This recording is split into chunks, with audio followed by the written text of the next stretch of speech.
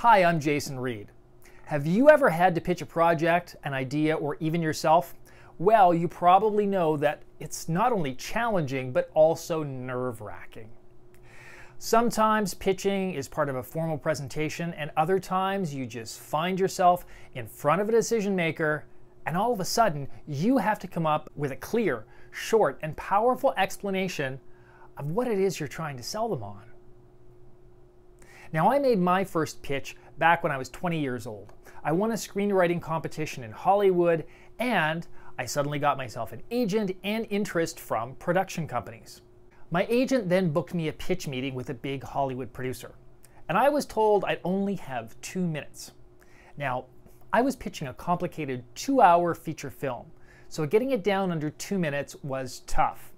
I decided to sit down and write a flowery two minute summary of my screenplay and it was perfect. The language was lush and gorgeous, and I memorized it word for word.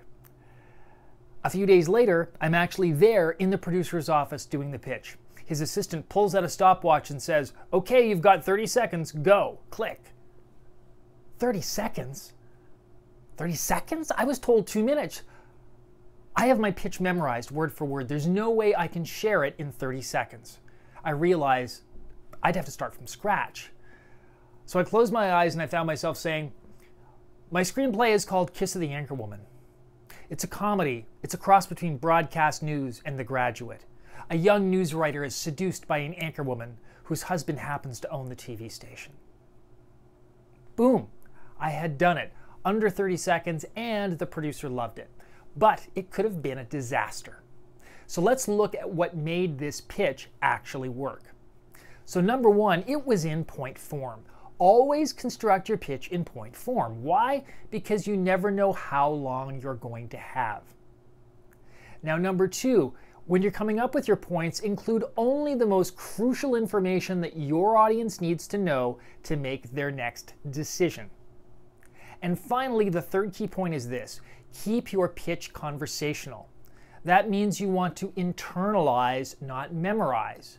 To be authentic, you must use the sorts of words you would use in ordinary conversation. So, in short, don't write your pitch, speak it based on the key points you identified and practice it over and over and over again. And that is how you can pitch your next project or idea like a real pro.